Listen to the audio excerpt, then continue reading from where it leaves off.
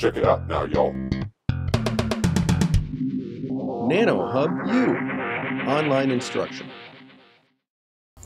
So today we wrap up week four, and we really, today's lecture is really the most important one of the week because we're going to take the theory that we've been developing and getting comfortable with for the whole week, and we're going to apply it to some modern data and see how it can help us understand what we measure in very short channel MOSFETs.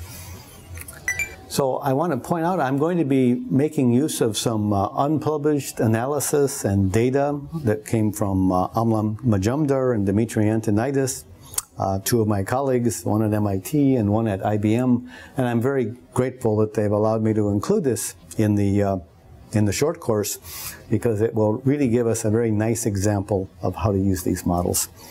Now I want to point out one other thing. I've, I've, been talking throughout the course about virtual source models, and I had a level one model, and we improved that and added to it, and I've been thinking of these virtual source models in a generic way. Now, there's also a very specific virtual source model, one that's being developed and has been developed at MIT, and which is being widely used and getting a significant amount of recognition. So when I talk about that model, I'll try to be careful and talk about the MIT virtual source model. Essentially, it's the same, you know, the same general principles, but there are some additional specifics and differences of notation that it's important to be aware of. So in this lecture, I'm going to be using a lot of that notation that comes out of the MIT virtual source model. So the devices that we're going to be looking at are devices that are being explored at IBM Research. They're extremely thin SOI transistors, N-channel MOSFETs. Here's a cross-sectional uh, sketch of what the structure looks like. These particular devices are made in unstrained silicon. Uh, the thickness of this extremely thin SOI layer is 6 nanometers, which is really very, very thin.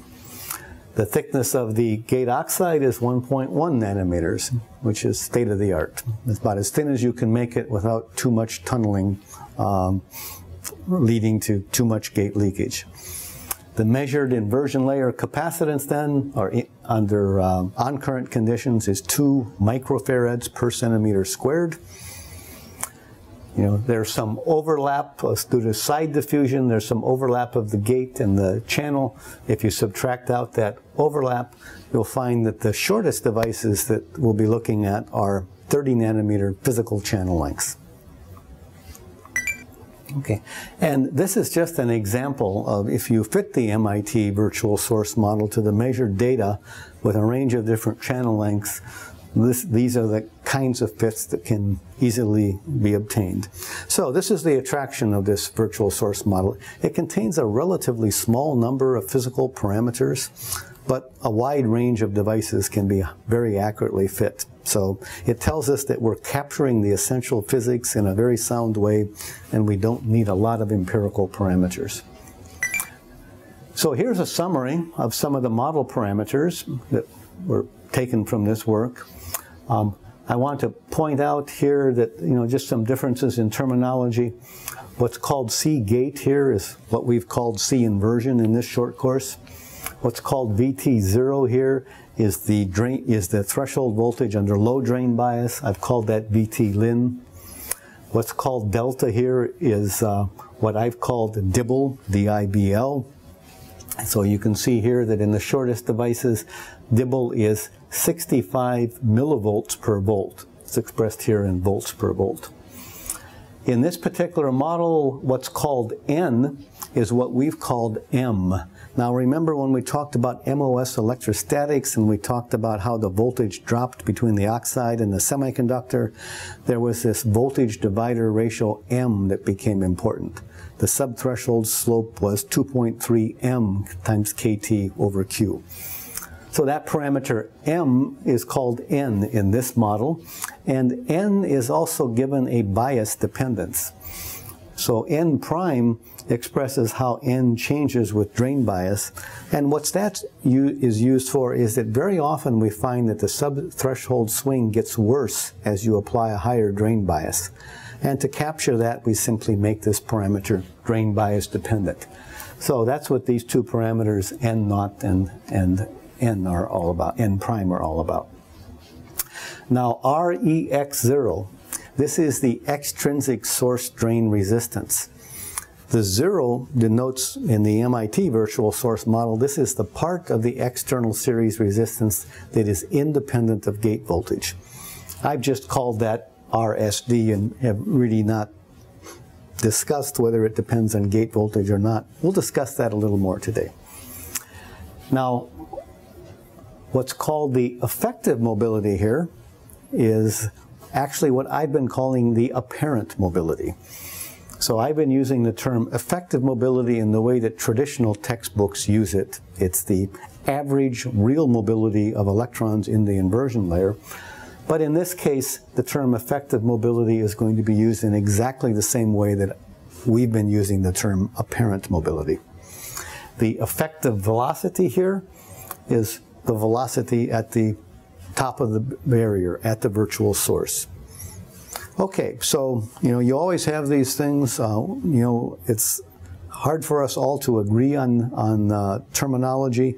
Uh, different people use different terminology, different papers use different terminology. We change our terminology as, as we learn more and more and better ways of doing it. So it's always something that we need to deal with, but if you understand the physics of what's going on, it's easy to make that translation.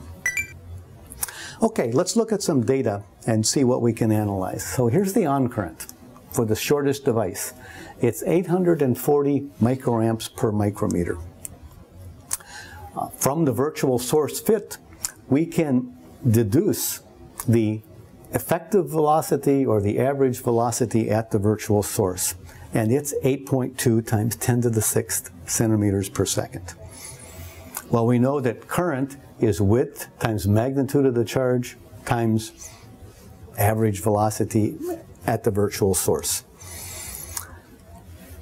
From the measured gate capacitance, we can deduce what the inversion layer density is. In this particular device, it's 6.6 .6 times 10 to the 12th per centimeter squared.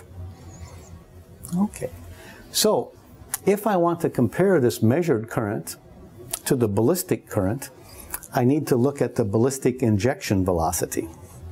And I need to look at that ballistic injection velocity at an inversion layer density of 6.6 .6 times 10 to the 12th and if we do that, we see that the ballistic injection velocity is 17 times 10 to the 6th centimeters per second. That, in fact, is about twice the deduced velocity at the virtual source, which suggests that we're operating at about half the ballistic limit. Okay? That ratio is controlled by transmission over 2 minus transmission, so we can deduce that for this particular device, the transmission is about two-thirds. Okay, now let, us switch to mobility. There was actually a, a lot of work done by these authors to measure the mobility as a function of inversion layer charge and channel length under a number of different conditions. And what we're seeing here are the filled square dots. These are mobilities measured in long channel devices for which we don't have to worry about ballistic mobilities or apparent mobilities. We're measuring the real mobility. And if you measure the mobility in the short channel device and you're careful about how you do it, the point of this paper, of, of these results is you get about the same answer and that it is not strongly dependent on the number of carriers in the inversion layer. So in fact, it is roughly, the real mobility is roughly 330 centimeters squared per volt second. So we could ask, how does that compare to estimated ballistic mobility? And to keep things simple, let's do it in Maxwell-Boltzmann statistics. We can simply plug in 30 nanometers, 1.2 times 10 to the 7th centimeters per second for the unidirectional thermal velocity, and we get a ballistic mobility of 690. Okay, so again, we're in a regime where it, it is neither much, much greater nor much, much less than the real mobility. So this device is going to be operating in this quasi-ballistic regime. That's what we expect to see. Okay, now I want to turn for a minute now to series resistance because this is something we've mentioned and discussed, but it needs a little bit more discussion when you analyze real devices. So if I take this IV characteristic, and if I look at the resistance in the linear regime, under the maximum gate voltage, say, I'll find that that resistance is the sum of two components. There is what I call the external series resistance, and what the MIT virtual source model calls REX0, or REX. And then there is the actual resistance of the channel. So those two are in series. In the conventional model, you know, we have an expression for the channel resistance. And what this tells us is that if we were to plot R total versus channel length at a fixed gate uh, gate to source voltage minus VG, then this line, it should give us a straight line. And when you extrapolate, since the channel resistance is proportional to L, if you extrapolate that straight line to zero, you will find the series resistance of the device. That's what the traditional model tells us. Okay, so the idea is that we take this expression and we simply plot it as a function of channel length, extrapolate to zero, and what we find is that series resistance. Okay, here's the results when you actually do that. When you actually do that, what you'll find is that the series resistance that you extract depends on the inversion layer density or the gate voltage. So what appears to be going on here is that we have a series resistance that is somehow dependent on the gate voltage. At first blush, you would say, well, why is that? You know, the channel resistance should depend on gate voltage, but the channel resistance is proportional to the channel length, and by extrapolating to L equals zero, we've taken all of that out. So we should just get the external series resistance. That is what we're getting, but, uh, or at least that's part of what we're getting, but it's gate voltage dependent. And let's talk about that a little bit. So to talk about that, we have to think about series resistance. So here's a cross-sectional sketch of this extremely thin SOI device. And here we're zeroing in on the region near the source so that we can look at the pieces of the series resistance. Okay. So if I look at this, there's a component here when the electrons flow in from the source, they have to squeeze down and get into the inversion layer. That's what's known as the inversion layer to, or source drain extension to inversion layer spreading resistance.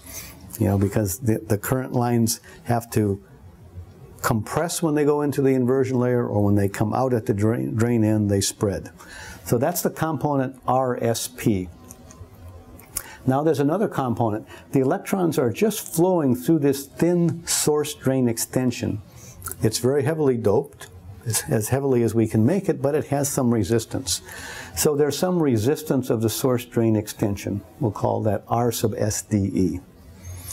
And then there is this raised source drain that gives us a heavily doped big region that we can put a contact on and make a low series resistance. So there is some resistance associated with that raised source drain. And then there is some resistance between the metal and the semiconductor. So that is a metal to raised source drain resistance called RC0.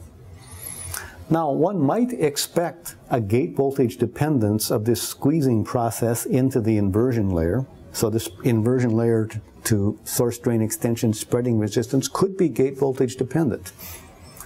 And there may be some fringing fields overlapping that are giving me some type of field effect modulation of the electron density in the source drain extension. So there could be some gate voltage dependence of that too. And depending on the device, people actually see these kinds of things.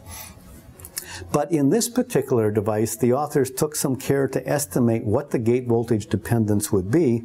And it turns out that in this case, both of these components have a very small dependence on gate voltage, and the other two components just aren't expected to depend at all on gate voltage.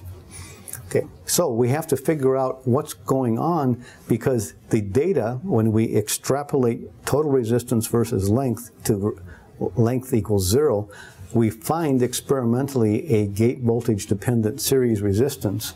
But when we look at this component, we say there shouldn't be any significant gate voltage there. So what's going on? Well, we have to look more closely. Our model expresses the linear region current this way, you know, just the part due to the intrinsic device. We're not considering the series resistance here now. So the channel resistance, we can get the channel resistance just by taking 1 over these terms. The channel resistance is proportional to L and is a 1 over apparent mean free path. Okay, 1 over the apparent mean free path is 1 over, or 1 over the apparent mobility is 1 over the real mobility plus 1 over the ballistic mobility. When I plug that expression in, I'll get a term that is proportional to L over W, and this is the term that we're used to seeing in the traditional model. When I extrapolate to zero, it will remove the channel resistance and that term would disappear. This second term here, this is the added term that comes from ballistic transport and it involves an L over W and a ballistic mobility. So both of these are gate voltage dependent. Both of them depend on 1 over the inversion layer density. But this second one is actually independent of channel length. The reason it's independent of channel length is that the ballistic mobility includes a channel length. The two divide out. So what we get for the second term is a channel length independent resistance. It's just the ballistic channel resistance, but it depends on gate voltage. So when we extrapolate L to zero, we'll not only get the external series resistance, we should see the L equals zero ballistic resistance as well, and that's gate voltage dependent. Okay. So when we're doing this kind of thing, um, and we're plotting the total resistance versus channel length, and we're hoping to subtract out the channel resistance part of it, we only subtract out the traditional part of it.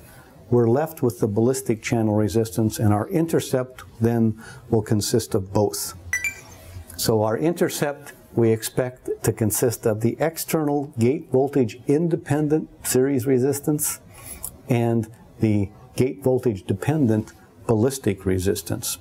That explains why when this intercept is deduced experimentally, it shows a gate voltage dependence because we're actually seeing the gate voltage dependence of the ballistic resistance for this device. Now, it's also uh, interesting to look at this and see that when we look at the slope of this line, we're actually getting 1 over the effective mobility, 1 over the real mobility.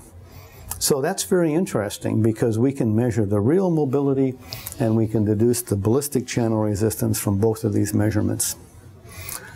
All right, key point is that the intercept is the sum of the ballistic channel resistance and the external series resistance. So, you know, in connecting all of this discussion to our virtual source model, you know, you might ask, when you fit uh, the, the uh, expression REX0 in the MIT virtual source model, what exactly is that in, in our version of the virtual source model? The answer is that it is the gate voltage independent external series resistance. And in many transistors, that series resistance is gate voltage dependent, independent. What is the mobility? When we're fitting the mobility, the term called mu effective in the MIT virtual source model, this is actually the apparent mobility and involves both the real and the ballistic mobilities. But if we take the slope of the line R total versus L, we can deduce the real mobility. And when we take the intercept at L equals zero, we can deduce the ballistic mobility. So we can get them both from this kind of analysis. Let's see how you would do that. So here's our device. The actual fitting of the MIT virtual source model to this data produces an apparent mobility of 220. When we do these measurements, and when we take the slope of R total versus length, we can extract from the measurements the real mobility. And this real mobility is what we're calling the effective mobility, and that's 330. So we can put these two together. The 1 over the apparent mobility is 1 over the real mobility plus 1 over the ballistic mobility. So I can solve for 1 over the ballistic mobility. The apparent mobility comes from fitting the virtual source model to the data. The effective mobility comes from looking at the total resistance versus channel length and getting the real effective mobility. When you do those two, we can deduce what the ballistic mobility is for this particular device. And it turns out experimentally to be about 660 centimeters squared per volt second. You know, just double the real mobility, so very much on the same order. Okay. Now, if we look at what the expected ballistic mobility would be, you know, we could deduce the expected ballistic mobility from our ballistic expression for the current.